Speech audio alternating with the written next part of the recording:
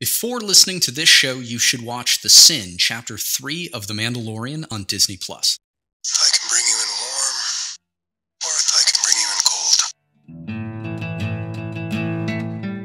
Hello, welcome to Galactic Initiative. Today we'll be discussing Chapter 3 of The Mandalorian Season 1 The Sin.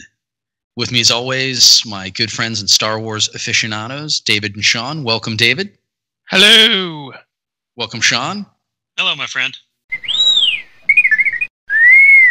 Chapter 3 begins with a holographic message. Greef Karga tells the Mandalorian to deliver the asset directly to the client on Navarro. He stresses the client's impatience. The Mandalorian parks the Razor Crest at the small spaceport on the city's edge and proceeds to the client's hideout. A U-Wing fighter lands next to the Razor Crest nod to Rogue One. As the Mandalorian passes through the city, we see an astromech droid attached to a cargo sled that will play an important role later in the chapter. We notice the city's sunken streets. All the buildings are below the rocky surface. This feature will also matter later in the chapter. Any comments regarding Karga's message, the city, or the Mando's walk to the client?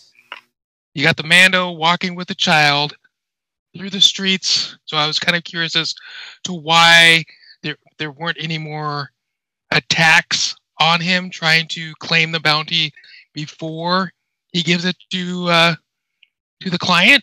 But uh, one of the cool things that I did like at the beginning um, was the, the child and the Mandalorian having a little bonding time together. The child was unscrewing part of the equipment. It was those little quirks in the story that I think play a, a significant part of the relationship between the two um, later on.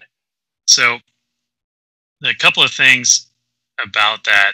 Uh, it's interesting that he is still willing to land, first of all, and then to David's point, just wander through the streets with with the child and op- on open display in in the uh, bassinet and knowing that Greef Karga is has sent these other bounty hunters after it and after him, and knowing that the client probably also had a hand in that as well. Uh, it does. It's it's an interesting intro. I mean, like you say, there's there's a few callbacks to some other Star Wars material with the with the ship and some of the people we see in the streets. We see the uh, the off-world Jawas and a few others wandering to the, the streets of the city. Set dressing uh, with these, you know, the alien characters and some of these different locations. And it's nice to not always be on a desert planet or a snow planet, like to see something a little different. You know, Jeff had mentioned that the city is sort of buried in the ground. I don't know if it's because the the climate of the planet is particularly harsh or, or what, but it's a it's a cool look. And then of course we have the bonding between you know the Mando and the child taking the little knob off of the off of the, you know the control panel or whatnot. Yeah, I had the same thought as the two of you. Why would the man parade the child through the streets? He has an asset that other bounty hunters have already tried to take from him. And he has, should have, a lot of uncertainty about the client and Greef Karga in terms of handing out additional tracking fobs. So I don't have like a, a logical, satisfying conclusion I don't know. It doesn't. It, it doesn't. Parking and then just walking through the streets. A power droid greeted the Mandalorian on his first visit to the client. This time, two stormtroopers appear at the door. One grabs the child's carriage, prompting a caution from the Mandalorian. Easy with that. The trooper retorts, You take it easy. The client and Dr. Pershing use tracking fobs to confirm the child's identity. Both show excitement for their prize. The client compliments the Mandalorian. Your reputation was not unwarranted, but considering his recent struggles, the Mandalorian responds with a question. How many fobs did you give out? The client justifies his duplicity by saying, This asset was of extreme importance to me. I had to ensure its delivery. And as if to distract, he produces the pledged Camtono of Beskar and adds, but to the winner go the spoils. However, the Mandalorian's body language tells us that all is not forgiven. Now he knows the client and Greef Karga deceived and targeted him. We sense the Mandalorian's internal conflict over leaving the child with the Imperials. He asks, what are your plans for it? The client's disposition changes. More stormtroopers enter the room and the client voices displeasure. How uncharacteristic of one of your reputation. You've taken both commission and payment. Is it not the code of the guild that these events are forgotten? Is he taunting the Mandalorian while he dismisses him? And the client adds, unfortunately, finding a Mandalorian in these trying times is more difficult than finding the steel. Thoughts? There's an, there's an awful lot to unpack in this moment where the Mandalorian is taking his payment. Is this the first time we see the Camtono? Or is yes. It, yeah. Okay. It was, so it was mentioned, time. but it's the first time we see. Right. It's the first time we actually see it. So we see the ice cream maker, which is fantastic the, the Mandalorian, we're seeing him uh, starting to think beyond the rote uh, rules and codes of the you know of the guild because the Mandalorian is is a foundling because he's an orphan. He's not thinking clearly, and I'm you know using air quotes or whatnot uh, when it comes to the, the job of being a bounty hunter. He's starting to ask the wrong questions at the wrong time of the wrong people. Werner Herzog as the client just oozes evil the fact that he doesn't care about sending out uh, you know a thousand bounty hunters to achieve this goal and what that might mean for those people when they go out to do the job uh, whether they have to wind up killing each other or they get killed in the process. He's very you know ends oriented doesn't care about you know what means are used any means necessary. And, and the fact that he continues to talk at the mandalorian about the great purge and what the empire did to the mandalorians. You know, the, the empire took away their cultural heritage, took away their armor, and melted it down into these ingots, and basically murdered them and, and dispersed whatever was left of the Mandalorians throughout the galaxy. And now he's talking about return, returning to the natural order of things, you know, getting the getting the Beskar back to the Mandos. But even then, he says, "Yeah, but there aren't that many left, and they're so hard to find." You, you can you can see him thinking, "This is really starting to get kind of get to him." So, to Sean's point about seeing what he's thinking, we're dealing with an actor who has a mask on the entire time. Feels like they're trying, the directors and the writers are trying to get us to put ourselves into that position. And what is our, where is our moral compass on this? What would we do? And I think that's what helps bond us to this this character. A couple things going back Mando walking uh, the child into seeing the client. You're basically walking an infant child to death or dismemberment, or I mean, who knows what they're going to do when the client revealed the amount of Beskar that he was giving the Mandalorian. One of the things that I started thinking about is all this money. Who is behind the client? Somebody else had to finance this.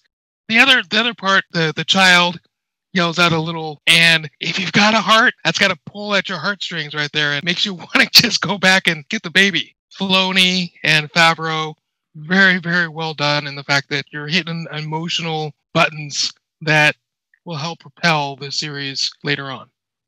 Love your point, David, about relating to the character, seeing yourself in his shoes.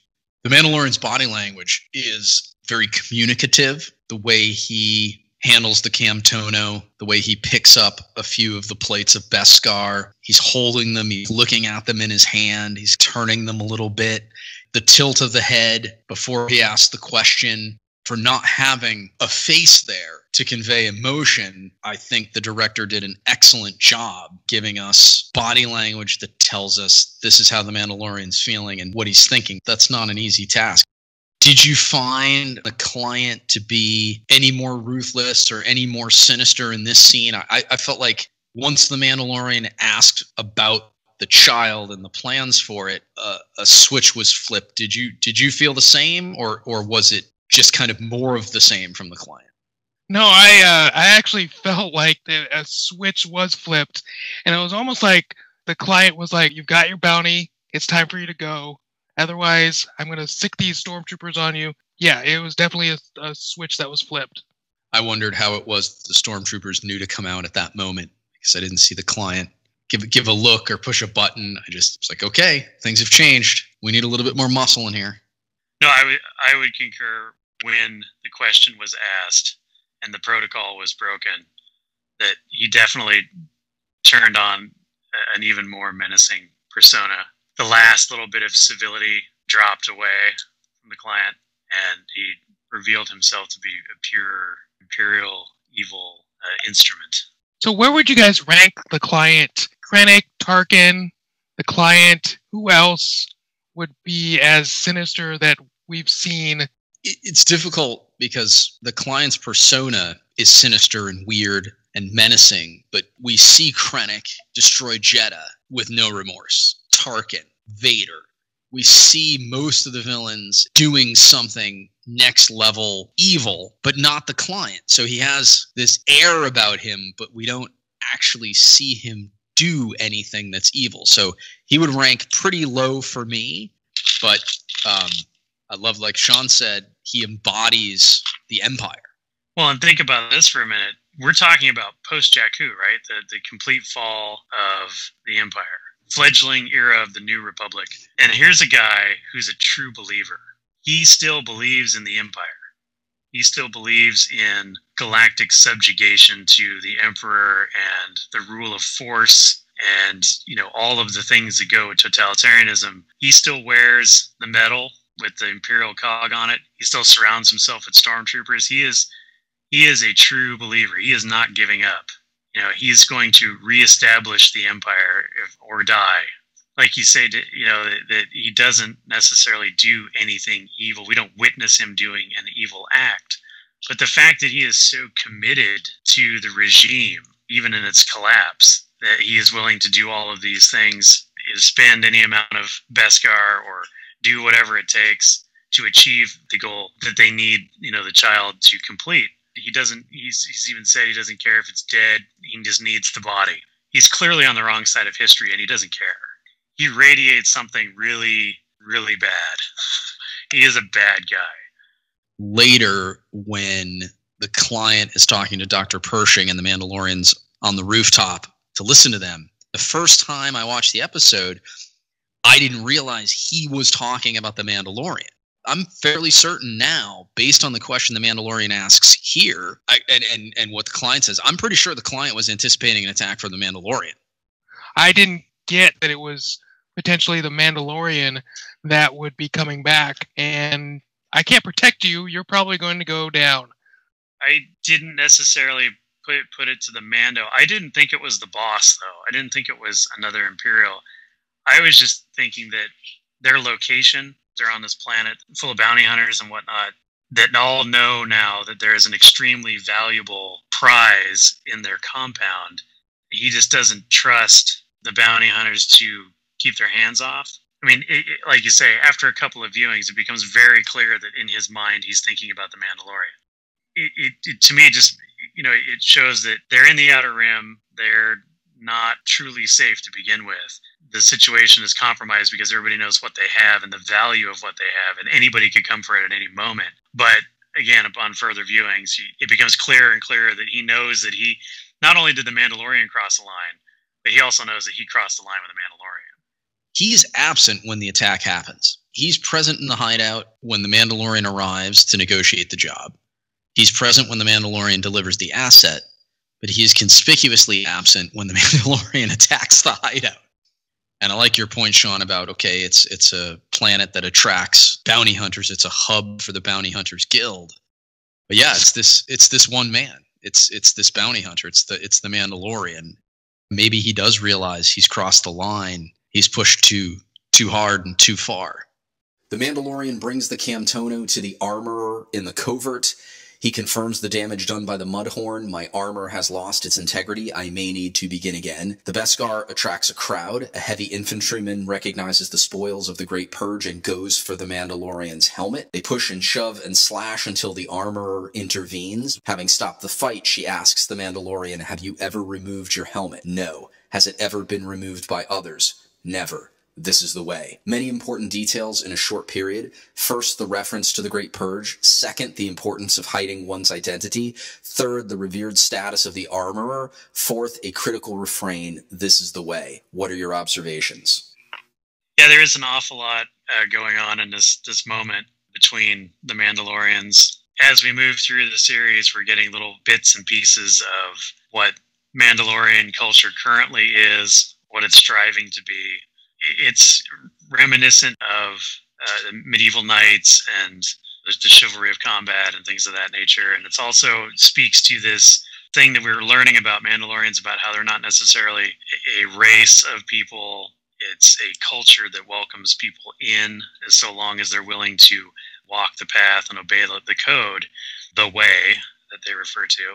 And part of this way that they live is, you know, achieving success in arms and providing for the tribe through combat or through the application of their combat skills in, say, bounty hunting. There is a jealousy of the Mandalorian. Perhaps this is, you know, rubbing people the wrong way uh, in, in, within the covert. And then, of course, there is the conversation regarding the Beskar and the fact that it is spoils of war and that it is stolen from them. I can see where there would be conflict. The Mandalorian is elevating himself in status. He's getting a full set of armor made from Beskar steel, the head of some of his brothers who are, for lack of a better word, more pure Mandalorian or more true Mandalorian than, than he is, perhaps not foundlings like himself. The uh, the removal of the helmet and the fighting to remove the helmet. It's interesting to see. It's, it's like a it's almost like a prize fight or, or or some kind of status thing that if you can take another Mandalorian's helmet, then he is not worthy of being a Mandalorian. Which then, of course, brings into uh, the conversation the whole Jango Fett, Boba Fett, and all that stuff. Especially since George Lucas likes to tell everyone that they're not actually Mandalorian. So they took somebody's helmet. So that becomes a big deal now in in the lore of Star Wars. The armor slash smithy uh, and her status in the in the covert uh, we're starting to really see that because this culture is based on warfare and based on combat, that the person who provides the arms and the armor uh, has the true power within this culture of Mandalore. Uh, for example, she talks about him and his armor and his status and his his, his class or his his place within the co- the covert. That armor is worthy of, of his status. And so, you know, you have to earn your arms, you have to earn all this stuff, and she bestows it upon them. And it's all very ritualistic. This theme here early on about following the steps and being very dogmatic about your approach to things. And this is what has served the Mandalorian very well in his work. But it's starting, we're starting to see it crumble now because he's violating the code of the, of the, the guild by asking questions and trying to stay true to his Mandalorian roots. But uh, again, there's a, a, ton of stuff going on. They talk about the Purge. We, we have a conversation about the stolen Beskar and, and what it means to the Mandalorian people. So it's it is it's a lot. It's this entire episode is actually very front loaded with a lot of lore and a lot of inferences to future action. I love the fact that they mentioned the Great Purge, which I know was uh, discussed during the Clone Wars and also during Rebels. So nice little callback. One of the things I did find most interesting, as much as all the Mandalorians down there wanted the Beskar, it was almost like, hey, why are you dealing with these scums, which would be the uh, Imperial officers? But it's really cool that you got this Beskar and you're bringing it back. Double-edged swords and kind of a kind of a, a tough situation to be in. The Mando's knife was glowing or glittering at the end. It's like a little bit of a throwback back to Solo when Dryden yeah, Vos. Dryden Vos. Yeah, It's a vibro vibro blade. yeah. I thought I thought that was pretty cool. Very subtle. We get to kind of see a lot of the behind the scenes stuff that, as kids, we really thought about or tried to think about what it would look like, how it was made, what the purpose of it was I mean, we got in the last episode we really got to see how uh, the Mando's armor electronics goes together. Um, we see a little bit more of that at the end of the fight. The armor had to stop him and then you know explain that he is part of the crew and he is true in their heritage and their ways and uh, he's accepted into our our clan and should not be questioned. That was really well done. One of the things that I did not think about was how jealous the other Mandos were. Three fourths of the Mandos, in terms of their armor, it looked haggard. I mean, I'm sorry, but a lot of them looked like it was just slapped on. As a group, looked to be really struggling. And yes, I'm sure there is a lot of jealousy coming from that group, especially as Vizsla. The armorer revisits the topic of a signet. She asks about the Mudhorn. The Mandalorian says, I can't accept. It wasn't a noble kill. I was helped by an enemy, meaning the child. The armorer is surprised. Why would an enemy help you in battle? The Mandalorian replies, It did not know it was my enemy. So the armorer crafts whistling birds and describes them as a defense against multiple enemies. While she forges his new armor, the Mandalorian experiences a flashback. Like before, we witness his parents carrying him through a raging battle. Unlike before, we see their pursuers, a heavy missile platform or HMP droid gunship and super battle droids, weapons used by the separatists in the prequel trilogy. His parents leave him in a small cellar and after they close the doors, an explosion rocks the area. We infer the death of his parents, which explains his hatred for droids. What did you take from this section? The conversation about the, the signet with the armor is is interesting. We have these warriors; they you know have to achieve some great feat of arms, whether it's killing a, a, a beast that's you know much larger, more powerful, more dangerous, or something else to earn the symbol of their achievement, their, their great combat achievement. I, and I would assume that this is some kind of level up kind of a thing. We've talked about their station, we've talked about their position in the covert. And so ultimately, to get the signet is probably the, the highest achievement or the highest rank uh, as, as a Mandalorian. But also, again, we see that the Mandalorian is bound by honor to the code of Mandalore. He's not willing to accept the signet because he did not achieve this victory by himself He received assistance, uh, which causes some confusion with the armor because you know she asks the question, well, why would an enemy help you? And at this point, I feel like there's there's something else going on with the Mandalorian in this conversation that he is playing word games to try and perhaps cover up his guilty conscience because what I think he really should be saying or what he means to be saying, but he's he's not fully admitting to it, is that he, the, he is the enemy of the child, and that the child helped him because the child didn't know. You know, we've been on these adventures over the last several episodes with the Mandalorian and the child, and they've bonded and they've had this relationship where the child keeps trying to assist the Mandalorian through healing or through lifting up the Mudhorn. And the Mandalorian, you know, now is in this crisis of conscience that he's turned this helpless child over to the, the Empire. We still don't know exactly what's going on there, but he's dealing with this this this guilty conscience, and I think he's trying to talk himself into feeling better about what he's done. I like the the way this, this the flashback device is being used in this series. It feels dreamlike uh, and, and, a little bit impressionistic the way it's presented, but we do get more information every time. They're slightly different. They're slightly more expanded. We're on the journey with with the Mando and learning about his past as we go forward in these episodes. At first we just we knew that there was some great tragedy and then it grows into the next reveal where we find out his parents are leaving him you know, they're putting him in the cellar.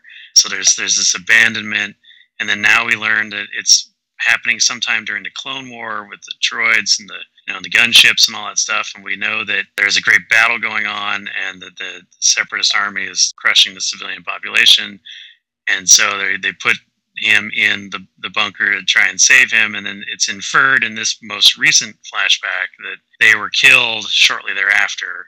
But we don't know at what point who rescues the Mandalorian or how he's rescued or what ultimately saves him from the droids. But we're going to, I mean, he's ultimately going to wind up in the hands of the Mandalorians as a foundling and, and be raised, you know, in the way of Mandalore.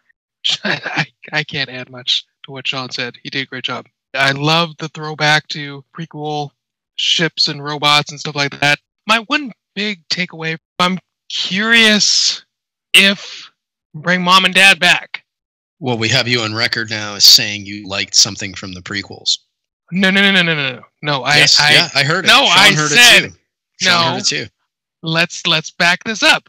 I said I liked the throwback. It didn't mean that I liked the robots. I liked the throwback aspect of it. Because you know what, I always had a problem with. Uh, gosh, what are they? The Super Battle Droid. Yes, the Super Battle Droid. Mhm. I always, I, I've got two problems with the Super Battle Droid. One is what was it episode three they started talking. I thought that was one of the dumbest things ever. They shouldn't. Agreed. Okay. Agreed. and two, you know, at the beginning when they first introduced him, you'd shoot him and shoot him and shoot him, nothing would happen, and then all of a sudden later on, it just takes one shot and they're gone. Those are my those are my issues with the super battle droids. So I don't like super battle droids, but it sure was great to see him again. No, no, no, no, no, no. That's exactly No. what you said. No, I said I like the throwback. I like how they connect the dots. I mean, is that, is that Continuity. yes? Thank you. I like continuity. Yeah, the battle droids are kind of hokey, but whatever. I, I like I like prequels, so I was happy to see all of it. What type of ship is it again? It's an HMP droid gunship, which HMP stands for Heavy Missile Platform. It's got a little face on it. It's got It eyes, like yeah. it's got like an angry pumpkin face. And I know you hated those ships, but it was nice to see him again, so I, I get it. The Mandalorian enters the cantina in his new armor. Greef Karga exclaims, They, meaning the other bounty hunters, all hate you, Mando, because you're a legend. The Mandalorian wants to know how many hunters receive tracking fobs. Karga taunts the entire cantina by shouting, All of them, all of them, but not one of them closed the deal. He shows off plates of Beskar from the client as if the shared prize would please the Mandalorian. After claiming a puck for his next job, the Mandalorian asks, Any idea what they're going to do with it? Meaning the child. Karga says, I didn't ask, it's against the guild code. The Mandalorian doesn't trust the Imperials. What are they doing here? I believe Karga mocks him based on their previous conversation about Imperial credits. The Empire is gone, Mando. All that are left are mercenaries and warlords, but if it bothers you, just go back to the core and report them to the New Republic. The Mandalorian dismisses his suggestion. That's a joke. Let's hear from you guys. When Mando walks in, it's almost like he's all dressed up, ready to go to prom. Greef Karga basically tells him, "Hey, you know, you've got all this money now. Why don't you just go chill out on a planet? Go to a go to a Twi'lek healing bath." I don't think we'll be seeing that episode on Disney Plus anytime soon. Mando decides or grows conscious and is like, "Hey, what what's going to happen to the kid? We've had a little bonding situations going on. You know, we've had the dealing with the client where, as he's leaving, the child calls out to him. It's very obvious that Mando's about to go after the child. when Greef Karga's in there and he's taunting all the other bounty hunters because of his boast and because of you know of him trying to shame all the other bounty hunters on how bad of a job they're doing. It, he's confirming to the Mando that he was in on this sort of betrayal with the client. That, in conjunction with now Greef Karga has Beskar in his pocket. His conscience is eating at him more and more you see without seeing what's going on in the head of the Mandalorian and how he's finally coming around to that decision point. We've got the situation where the Mandalorian is very rigid and dogmatic and follows his rules and believes in codes and, and honor. And he's finding that the the bounty hunting guild, the people who run it or the people who are involved in it are playing very fast and loose with rules. I, I mean, clearly the, the this process that the bounty hunters go through, they sit down with with Greef, and he gives you the puck, and you select the puck, and that's your job. It's your job until you fail. That didn't apply. Now there was some question about whether it was a legitimate bounty because there was no puck.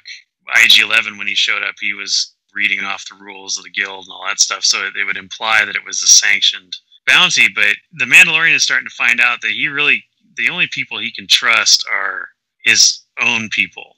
You know, the other Mandalorians, mostly just himself, but the other Mandalorians.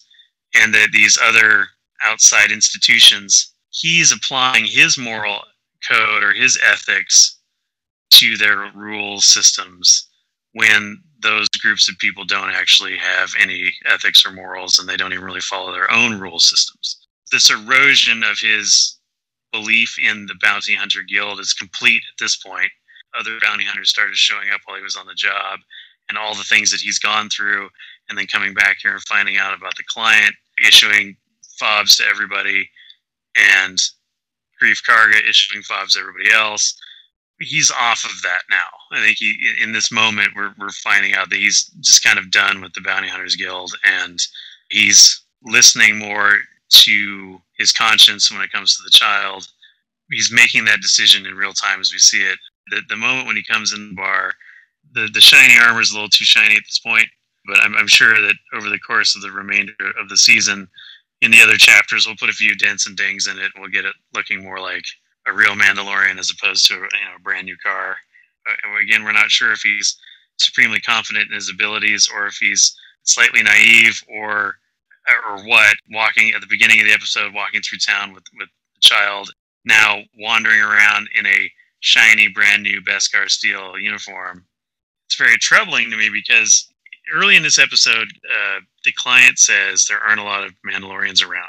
Clearly, the the Mandalorians they live in secrecy, they live in hiding. They're trying not to draw too much attention to themselves, trying to stay under the radar because they've gone through the Great Purge. All these things, they're they're basically hunted people. They're not they, they can't fully integrate back into galactic society. So when the client is saying earlier on the episode that you can't find Mandalorians, you know, you can't find a Mandalorian to make you the armor, even the, or make you things with the Beskar, but you got the Beskar back, and you, that whole taunt. For him to show up the next day with a brand new set of armor, he is he is betraying the covert. Look at me, I have brand new Beskar armor, but he's also saying clearly I know other Mandalorians and I know skilled armorers who are Mandalorians who can make this. And they're not too far from here because it's literally like within 24 hours. He gets back, he drops the kid off, goes back in the, the, the covert, has a fight, gets new armor, and then goes back to the bar to get his next job. He's showing his hand. Uh, it's it's a very brash decision to put on that that brand new armor and go into the bar to talk to Greef Karga in that scene. Wistfulness over a missing shifter handle prompts the Mandalorian to stay on Navarro. He scouts the client's hideout and finds the carriage in a dumpster, an indication that the child won't be leaving. Rooftop surveillance using a listening device in his helmet, coordinated with his rifle scope, reveals a worrisome conversation. The client orders Dr. Pershing to extract the necessary material. Dr. Pershing references an unknown male. He has explicitly ordered us to bring it back alive. The client shifts gears. Finish your business quickly, as I no longer can guarantee your safety. So, the Mandalorian makes a fateful choice. Let's talk about the factors that influenced him. Why did he decide to rescue the child? The decision is is being made throughout the episode. It's little things here and there where the Mandalorian is is really starting to regret well, first of all, taking the job, but having taken the job, having completed it, and and handed over the child to the client, the the conversation that's had there, uh, the the conversation about the mysterious who is he and what does he want, clearly something going on beyond Werner Herzog's character. We've seen it with his interactions with Dr. Pershing. They're almost at, at competing interests in a way uh, the scientist wants the child alive and wants to do his science, whatever that is. Werner Herzog is very goal oriented. Do what you have to, just get it done. The safety issue is it safety from the mysterious he? Is it safety from the situation that they're in on this planet? Or is it safety from the Mandalorian? Does Werner Herzog know in his in his mind now after having had his interaction with the Mandalorian when he when they did the handoff, because the Mandalorian is asking questions and because the Mandalorian is breaking rules, that it's only a matter of time before he comes back looking for the child. But the extracting the material thing, this is one of those ongoing questions that we have. The Kamino cloner logo appearing on Dr. Pershing's uniform, which is an Imperial Science uniform now, after having seen Rise of Skywalker, we have a conversation about imperial cloning. So that's that's a thing, and we also understand that Palpatine is being cloned as well as Snoke and other Force users. So the question is the material that's being extracted from the child is it genetic material that they need in order to help reclone Palpatine? Is it midichlorians? What is it specifically? What is this material? I don't think we're going to get an answer anytime soon, but it's going to be this underlying driving point of what is the purpose of obtaining the child and what is performed on it or going to be performed on it and, to what ends? Like, what is what is it going to be used for? So we have all of that going on. So here's the Mandalorian. I, think the the final thing though that pushes him, if if he needed any more motivation, which I don't think he does, but if he did, seeing the bassinet in the dumpster, I think is really the like, sort of the last thing that he really needed to to see in order for him to fully commit to the process of saving the child's life. Pretty stark visual reminder that you won't be needing that anymore because the child's not going to survive whatever's going to happen. I mean, I, I'll be honest with you. As soon as I saw the bassinet, my first thought was, "Oh, it's probably too late." Um, again, some pretty dark scenes in this one. I, I also love the fact that this blaster, we saw another uh, another use for it. I mean, that thing is like a Swiss Army knife, tools for every little occasion. So I love that he was able to, you know, zoom in and listen into the conversation that they had, and also be able to see. I mean, it's the the heat heat sensor of it. One of the things that popped in my mind while he was talking about, it hadn't really dawned on me that the client was trying to protect both of them from the Mando. I was thinking more on the lines of who who is leading this whole charge of getting material from the child. I mean, now that we've seen Rise of Skywalker, we we pretty much know that they're trying to just get uh, material to potentially use for cloning. And I do want to compliment you, Sean, midichlorians. I know that's not your favorite to uh, to talk about uh, in terms of Star Wars lore, but it would go back to uh, Phantom Menace. I mean, if they're able to extract the midichlorians and use them, definitely a, a possibility. There's that offhand comment, you know, in the Phantom Menace where they do the count on Anakin, and he says it's the highest concentration. It's like even Yoda doesn't have that high, and now we have a baby Yoda. Well, yes, the midichlorians are not my favorite thing in Star Wars. Can be a logical inference from what we saw in Phantom Menace and what we've seen now in Rise of Skywalker. Potentially, the it's the midi chlorians that they're trying to harvest. The Mandalorian begins his rescue by breaking the eyeball security system. Then he blows a hole in an exterior wall and enters the hideout. He kills 14 stormtroopers to accomplish his goal, but he does not kill Dr. Pershing, though he had an opportunity. He finds the doctor with the child and an interrogation droid. Pershing pleads for the child's safety and takes credit for protecting it. The Mandalorian takes the child from a surgical bed and spares the doctor. We see the whistling birds kill four troopers. What were your impressions of the Mandalorian's assault? That was very calculated, very impressive. The medical droid throwback to uh, A New Hope. Dr. Pershing said, uh, I, I, I protected him. When somebody goes into that type of a tone, it's almost like there's more to Dr. Pershing than is being let on. If you go back to that conversation, I can't protect you. I'm wondering if Dr. Pershing is one of the higher ups. You know, in order to fake out the Mando be, to preserve his life, he's playing the dumb medical guy. Curious as if if we end up seeing him in season two as a more prominent figure. But the overall fight between the Mando and the TKs, the TKs actually showed some some military precision. It's hard to understand why the the TKs were not able to take him down. I, I, I like the addition of the lights on the end of the E11s. The whistling birds were a nice touch. I mean, something else that we had never seen in action. I think Boba Fett had something that looked like the whistling birds on his wrist. Great job by Deborah Chow with all the action sequences. It only makes me that much more excited about Obi Wan, the series that's coming. If this is the type of work that she's doing, I mean, she did two episodes that I liked. So nice, nice choreography, nice camera work, just pretty cool. Yeah, I'd say it's a, a very well executed, straightforward action scene. We got to see the Mandalorian use all the, the tools in, the, in his box, torch that one stormtrooper, cooked him in his armor, Oh, I forgot about Uh, that one. Yeah, that was yeah. that was nice. grappling hook, and of course the whistling birds and all that stuff that was you know foreshadowed earlier in the episode. He was doing the tactical move by using the aggressiveness of the stormtroopers against themselves.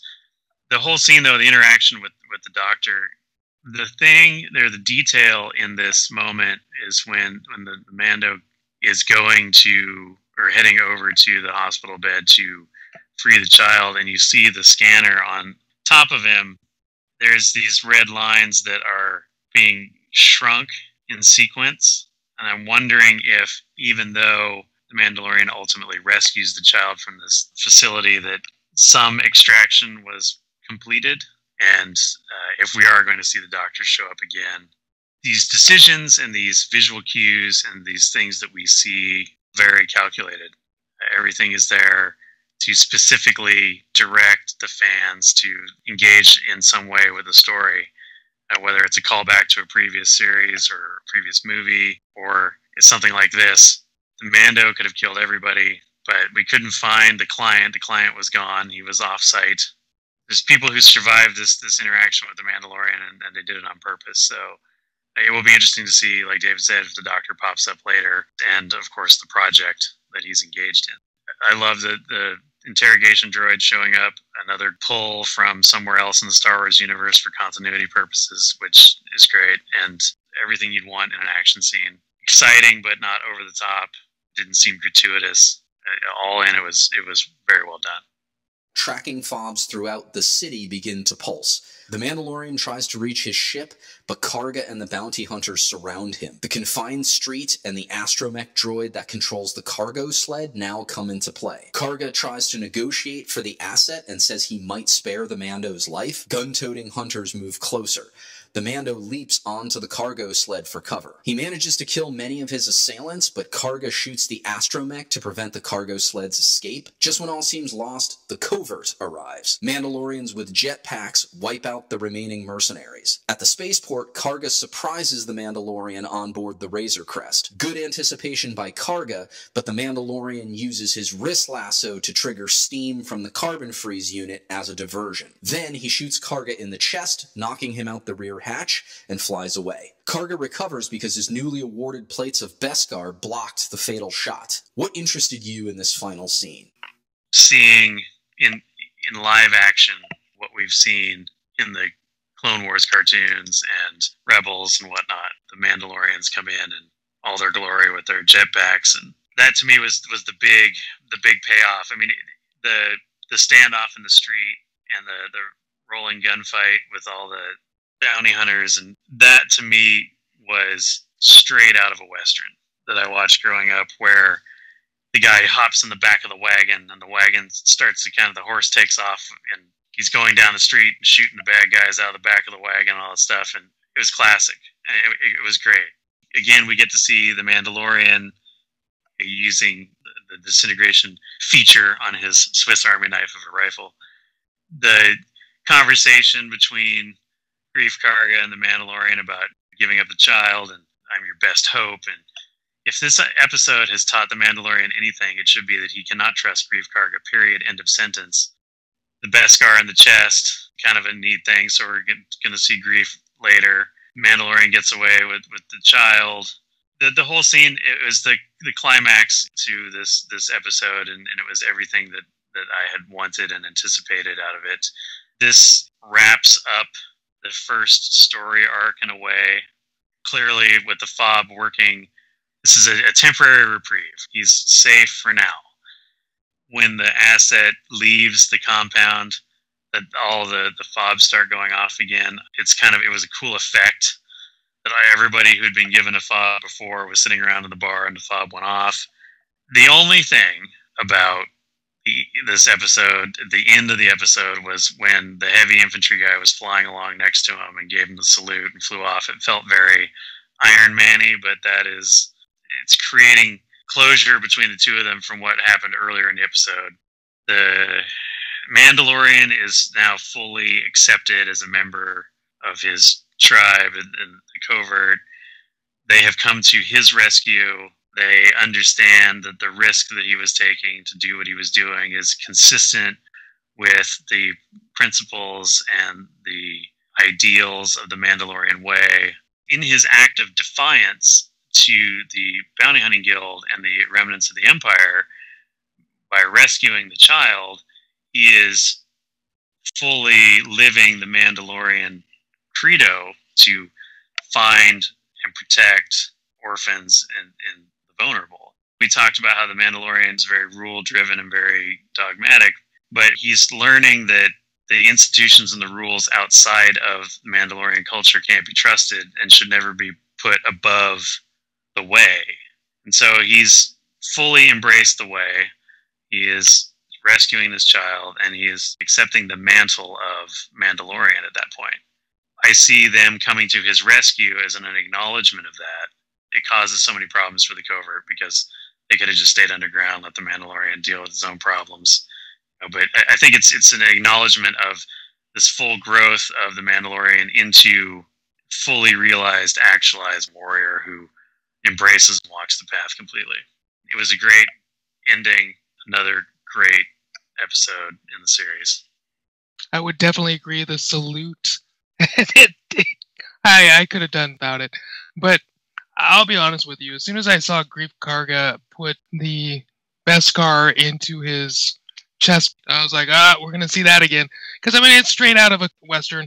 You know, the the battle was great. I love the the clan came to his rescue and realized that he is one with them. But all in all, I mean, really solid episode. It definitely moved the story along. Did you expect the covert? No, I don't. I think it was a nice surprise. I felt like they were trying to stay hidden as much as possible, and now obviously he was important enough to make that sacrifice. So it was it was uh, it was a surprise. I didn't necessarily anticipate the whole covert showing up. I, I knew somebody was going to come help him. There was the feeling that you know he was he was losing control of the battle and great danger. You, knew something was going to happen. I didn't expect the entire covert.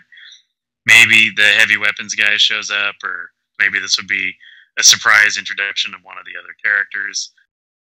I don't know, someone else, or we'd be introduced to you know one of these you know other characters. You, we saw a lot of mar- like for example, we saw a lot of marketing going into this about the cast of the show, and knowing that there's you know the Cara Dune character was widely circulated, the various individuals that would be assisting. Though to the earlier conversation, he kind of blew their cover anyway, so they might as well go out with a bang and, and take everybody out. But between the Mando killing all the stormtroopers and the covert killing all the bounty hunters, I guess who's left at that place? A few townspeople, but they're not going to have a lot of business anymore. Who's going to the bar? but anyway, I didn't expect what I got, but I was very excited about the entire clan of, of Mandalorians flying in and saving the day. Do you think the armor will be painted for next season? Oh yeah, because they have to sell more toys. And if you do, what? How do you, you know, what do you paint up? We went from colored armor to the Beskar. Know, did did Boba Fett have Beskar or did Jango have Beskar? Do we know? It's hard to tell with Jango because the armor was silver.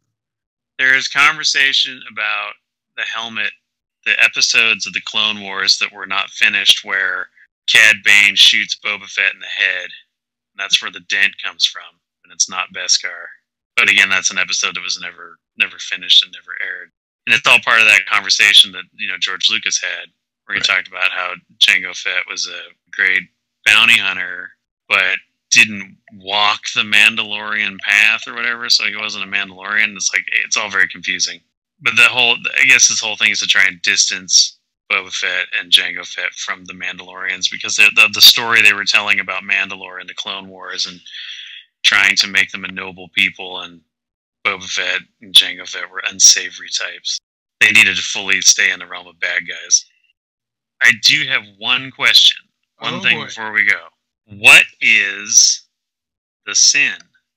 It could be one of two things: going against your word or giving up the child. I think it's one of those two. Forming the attachment, breaking the guild code. And working for the Empire. Ah, working for the Empire.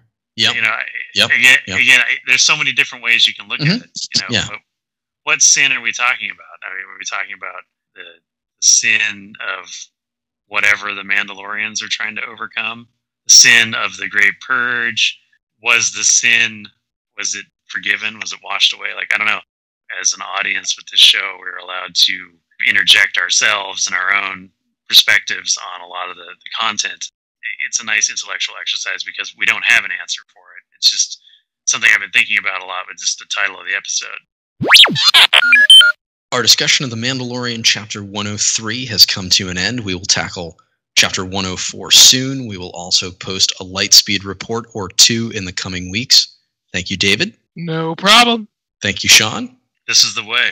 If you like the content, please tell others and subscribe to the channel Galactic Initiative. We end with a legal disclaimer. Galactic Initiative is not authorized or endorsed by Lucasfilm Limited. The name Star Wars and all related materials are registered trademarks of Lucasfilm Limited, a subsidiary of the Walt Disney Company, all rights reserved. Galactic Initiative is registered trademark, and other product and company names are trademarks of their respective holders. Use does not imply affiliation or endorsement. This is acceptable.